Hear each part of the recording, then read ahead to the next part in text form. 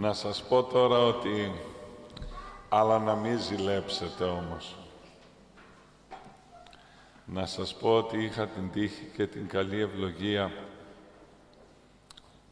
να βρεθώ για δεύτερη φορά φέτος στην Κύπρο μας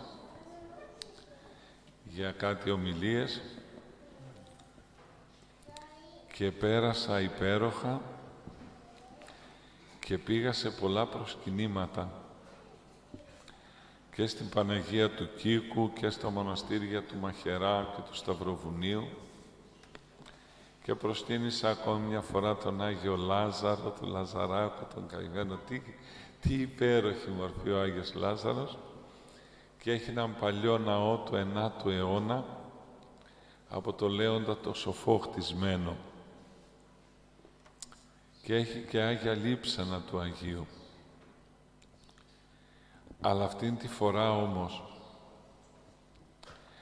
και πώς να το βγάλω από την ψυχή μας και να σας το δώσω όπως το έ... από την ψυχή μου και να σας το δώσω όπως το έζησα. Βρήκα ανθρώπους και έμαθα ιστορίες από τις μέρες εκείνες του πολέμου και της κατοχής που είχαν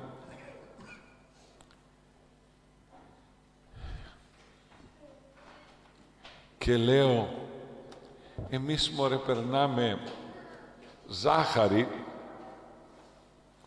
και από πάνω βασανιζόμαστε κιόλας. Ζάχαρη περνάμε. Υπέροχα περνάμε.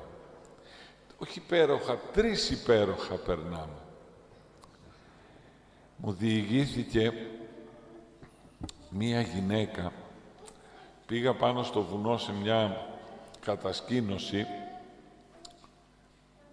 που ήταν τα στελέχη μιας Μετροπόλεως, μου είχαν καλέσει να μιλήσω. Καμιά 150 άτομα. Και μου λέει η υπεύθυνη, «Πάτερ, το μεσημεράκι γίνεται να μην κοιμηθείς».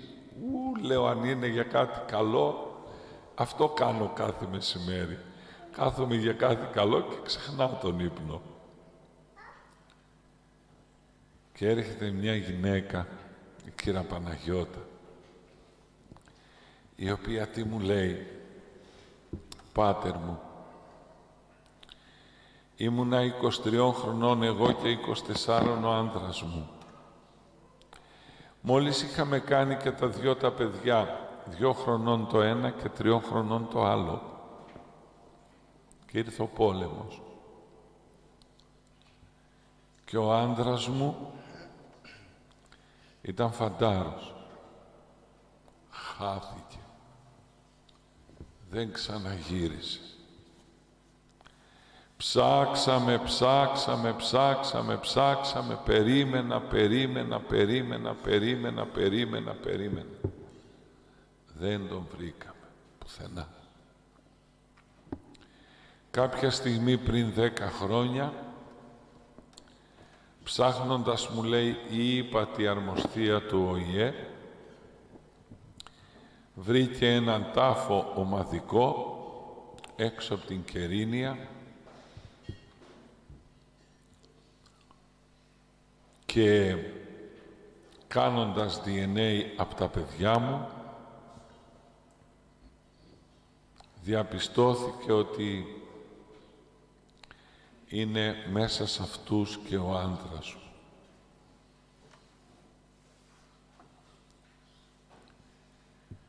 Ακούστε τώρα το παρακάτω όμως. Μας φέραν, λέει, τέσσερα-πέντε οστά. Σε αυτά κάναν DNA. Ήταν κι άλλα μαζί μέσα. Τα αφήσανε. Και αφού γίναν οι τελετές, μου λέει η κόρη μου, που μου λέγε πάντα, εγώ γιατί δεν γνώρισα μπαμπά, που είναι ο παπάς μου, γιατί δεν γνώρισα παπά, γιατί δεν γνώρισα μπαμπά, τι έγινε ο παπάς μου και εγώ τι να της πω. Κάποιοι νέγονοι σκοτώνεστε, λέει, σκοτώνονται. Λέμε σκοτώθηκε, λέμε είναι εκεί το μνήμα του. Εγώ δεν είχα τι να της πω. Και ήρθε, λέει, το κουτάκι με τα οστά και αφού τέλειωσαν οι τελετές, μου λέει η κόρη μου, «Μαμά, μη πεις σε κανέναν, εγώ θα τα πάρω μαζί μου το βράδυ να κοιμηθώ αγκαλιά με τον πατέρα. Πρώτη φορά να νιώσω τον πατέρα μου.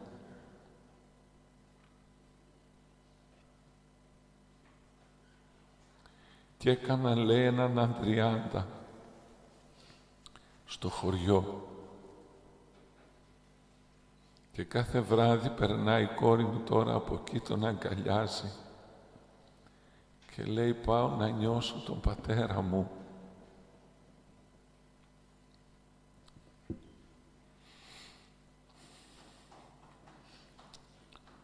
Και όταν λέει πήγα, είμαι λέει και πρόσφυγα η οικογένεια, δεν έχουμε σπίτι. Όταν πήγα λέει να βρω το σπίτι στο χωριό μου,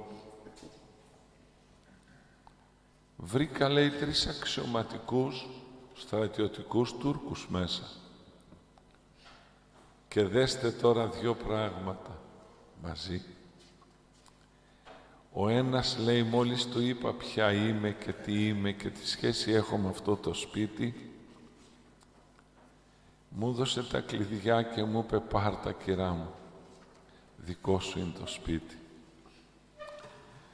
δεν τα πήρα, παπά μου, να πάω να ζήσω μαζί με όλους αυτούς εκεί στο χωριό. Εγώ τι θα κάνω; Έφυγα. Έκοψα ένα λουλουδάκι από την αυλή και το έχω φυλαχτό στη τσέπη μου. Και πήγαμε, λέει, με τα παιδιά μετά από πέντε χρόνια ξανά και βρήκαμε άλλον στρατιωτικό μέσα.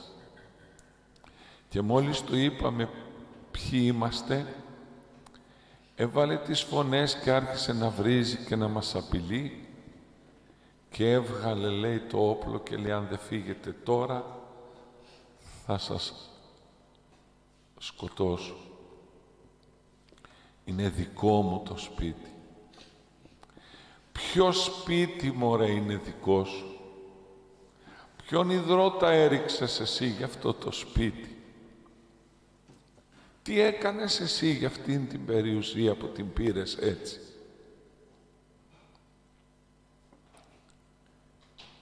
Και πήγα και κάπου αλλού και θα σας πω ακόμα πιο τραγικά τα πράγματα. Πήγα στα λεγόμενα φυλακισμένα μνήματα Εκεί μπορέσαμε μέσα στα κλάματά μας με τον Παπαδημήτρη να ψελίσουμε ένα τρισάγιο για τις ψυχές και διαβάσαμε ονόματα και είδαμε ηλικίες 17 χρονών, 18 χρονών, 21 χρονών, 22 χρονών, 24 χρονών, όλα τα παλικάρια. Και ήταν αυτά τα παλικάρια που τους έβαλαν απέναντι ο πολιτισμένος, σπουδαίος, πέροχος λαός που αυτές τις μέρες θέλησε να μας δείξει ότι είχε και Αγία Βασίλισσα. Αυτή που υπόγραψε να απαγχωνιστούν όλα αυτά τα παλικάρια. Αυτή ήταν η βασίλισσα που κυδέψανε. Όχι μόνο δεν τους έδωσε χάρη όπως τους ζήτησα όλη η ανθρωπότητα, που μπορούσε με μια υπογραφή να δώσει χάρη, αλλά θεώρησε εχθρούς της τα 17χρονα και τα 18χρονα και τα 20χρονα παλικάρια και την προηγούμενη φορά που είχα πάει γνώρισα και αγκάλιασα την Μαρούλα, την αδερφή, το Ευαγόρα Παλικαρίδη. Το πόσα λέει τράβηξε αυτό το παλικάρι που τον έγδαραν ζωντανό και ήταν μόλις 18 χρονών. Και είχε καταφέρει ο Ευαγόρας Παλικαρίδης να ξεσηκώσει όλη την νεολαία της Κύπρου και να είναι στο δρόμο και να κάνουν διαδηλώσεις και συλλαλητήρια εναντίον αυτονών που ήταν οι κατακτητές τους.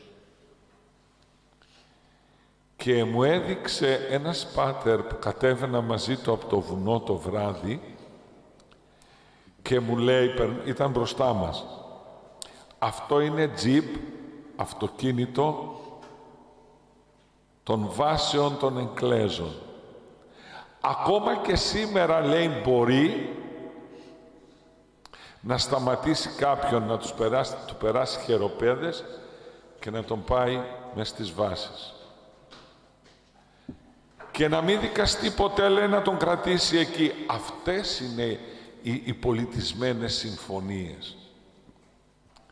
Και όταν το ρώτησα τι έκαναν οι Εγγλέζοι όταν μπήκαν εδώ μέσα οι Τούρκοι, γέλαγαν και τους είπαν περάστε και κάντε ό,τι θέλετε. Το τραγικό όμως ξέρετε ποιο είναι;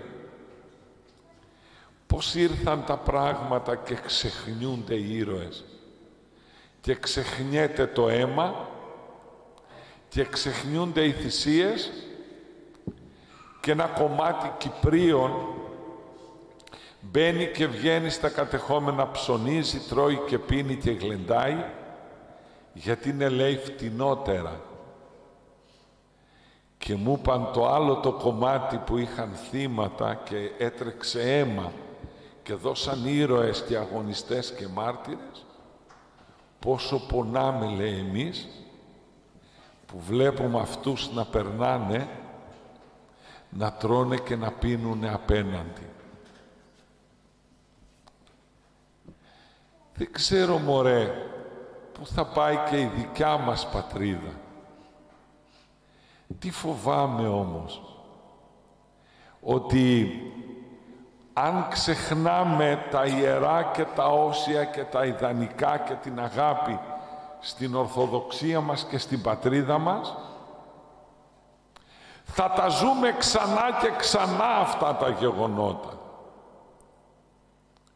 Δεν γίνεται να μη ζεις με τα ιδανικά της φιλής σου, της πατρίδας σου, του γένους σου. Να τα ξεχνάς τελείως σαν να μην υπάρχουν. Διότι αυτή η πατρίδα και ήταν μία η πατρίδα και της Κύπρου και της Ελλάδος ανέκαθεν είχαμε την ίδια ιστορία, το ίδιο αίμα, την ίδια ε, πίστη, τα ίδια ιδανικά, τα ίδια ιερά και τα ίδια όσια. Και πήγε, λέει, πολιτικό στην Κύπρο και εδώ και κάποια χρόνια και άρχισε να διαδίδει. Δεν είμαστε ίδιο, λέει, εμείς με τους Έλληνες. Εμείς είμαστε Κύπροι και αυτοί είναι Έλληνες. Και ξέρετε και κάτι, τι σκεφτόμουν αυτές τις μέρες εκεί που ήμουνα γιατί μου το είπαν αυτοί που είναι πονεμένοι από τους πολέμους. Και στην Ουκρανία ποιους βομβαρδίζουν; Δεν βομβαρδίζουν κυρίως τους Ουκρανούς.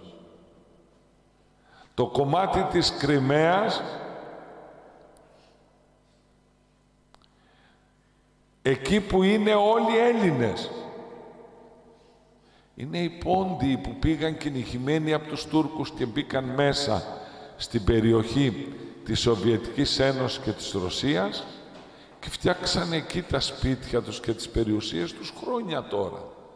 Ναούς, σπίτια, σχολεία, περιουσίες, γλώσσα ελληνική, όλοι τους μιλάνε.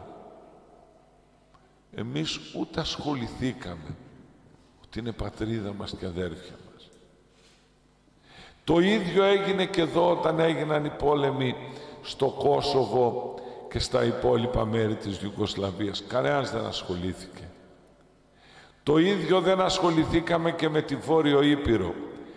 Ήρθε ο Πύρος Δήμας εδώ, απ' τη Χιμάρα, και επειδή ήταν λεβέντης και παλικάρι και μπορούσε και σήκωνε τη γη ολόκληρη στα βάρη και πήρε 5, 10, 15, 20 χρυσά μετάλλια τον ζητοκραυγάσαμε και του βάλαμε την ελληνική σημαία στις πλάτες.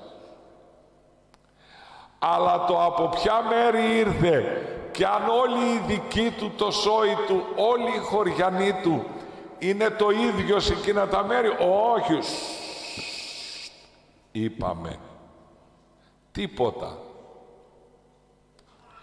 Όποιος λαός, λέει, ξεχνάει την ιστορία του, όποιος λαός ξεχνάει τα πιστεύω του, όποιος λαός ξεχνάει τα ήθη, τα έθιμά του, τα ιερά και τα όσια, τον φέρνει η κακοτυχία του, γιατί δεν είναι τύχη αυτό, να τα ξαναζήσει τα δύσκολα. Να τα ζήσει, να τα ζήσει, να τα ζήσει, μπας και καταλάβει. Ας κάψουμε λοιπόν στην ιστορία, ας κάψουμε μέσα μας ο καθένας και να πει τι πιστεύω, τι αγαπάω. Αγαπάω την πατρίδα μου, αγαπάω την κοινωνία. Θέλω μωρέ τη δικαιοσύνη. Θα σας πω ένα απλό παράδειγμα. Πόσο αγαπούσε την πατρίδα μας ο ίδιος ο Γεροπαΐσιος που είχε πολεμήσει κιόλας. Με το που, ήταν... που είχε στρατευτεί. Είχε πάει φαντάρος ο Γεροπαϊζός, δεν την έκανε για το Άγιον Όρος όπως μπορούσε να την κάνει. Κάποτε λέει σε ένα απλό γεγονός πόση πατρίδα είχε μέσα του. Πηγαίνουν κάποτε λέει κάτι παιδιά να τον δούνε, φοιτητές. Αφού είπαν τι είπαν, ο γέροντας είχε μια έννοια να στείλει ένα δεματάκι σε κάποια οικογένεια στη Θεσσαλονίκη ένα φάκελο. Βρε παιδιά μου λέει, από πού είστε εσείς Θεσσαλονίκη και ρωτά, χαίρομαι λέει. Μπορείτε λέει να με εξυπηρετήσετε σε κάτι, να μου πάτε αυτό το γραμματάκι σε μια οικογένεια που θα σας πω. Ναι γέροντα. Το βλέπουν τα παιδιά, λέει, 40 εκκλησίες είναι εγώ εκεί μένω γέροντα. Μπράβο παιδάκι μου. Και τι κάνει ο γέροντας. Τι κάνει ο γέροντας πάει μέσα και παίρνει μια πλάκα αρμαθιά γραμματόσημα και αρχίζει και τα κολλάει.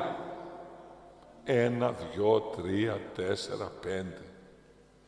Τι κάνεις γέροντα λέει; Θα το ρίξουμε στο ταχυδρομείο να το πάει ή να το πάω εγώ που είμαι στη γειτονιά του. Εγώ αύριο φεύγουμε γέροντα. Ε παιδάκια μου αφού είπες θα το πάτε στο σπίτι.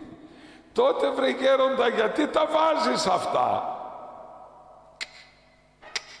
Και η απάντηση του γέροντα. Αν δεν, γιατί παιδάκια μου αυτά ανήκουν στη μαμά μας, στην πατρίδα μας. Δεν πρέπει να τα γλιτώσουμε και να τα ξεφύγουμε. Αυτοί είναι που αγαπάνε την πατρίδα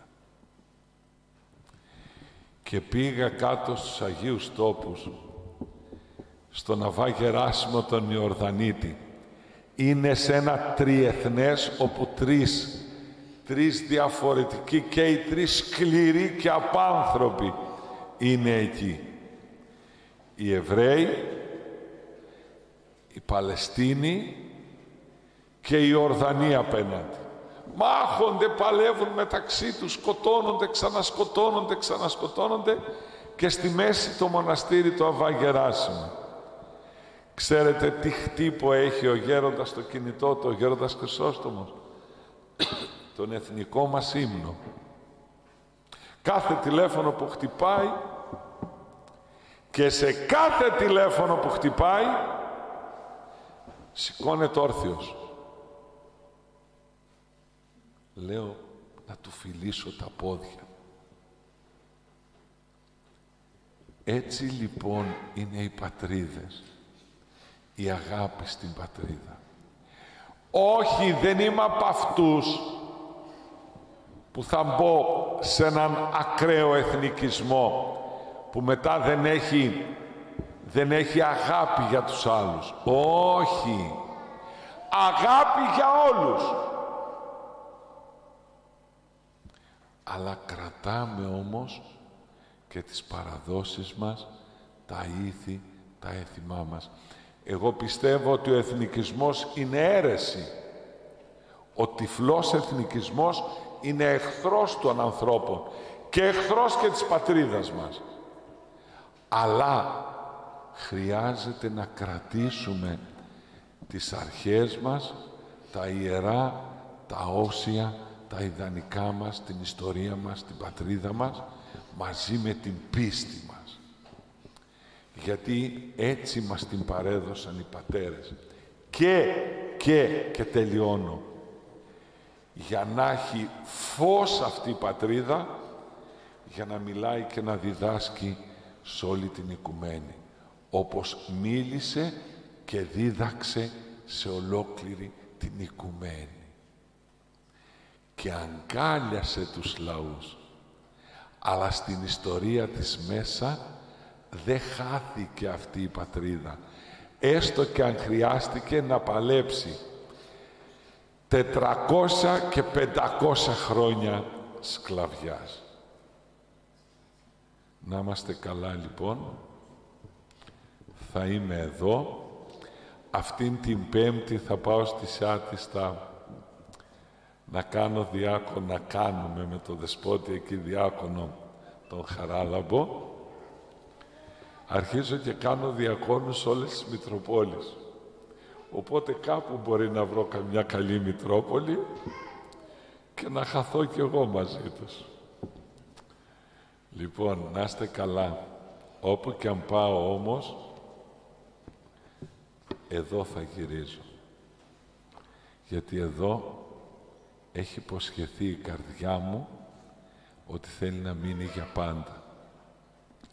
Δεν πρόκειται να σας αφήσω, γιατί δεν μπορώ από την καρδιά μου να σας αφήσω. Αν μπορούσα θα βρίσκα ωραία μέρη να μείνω. Αλλά σαν τη Σαρακίνα και τον Άγιο Χαράλαμπο, η καρδιά μου δεν αγαπάει. Τώρα μετά την, ε, το διευχόν, να διαβάσω μια ευχή σε όσους θέλουν για ανασυγχώρεση, να σας δω, αλλά θα είστε σύντομοι όσοι θέλετε κάτι, γιατί έξω ξεκίνησαν να, να στολίζουν για βάφτιση και σήμερα έχω τρεις-τέσσερις βαφτίσεις, δώδεκα, μία, δύο, τρεις.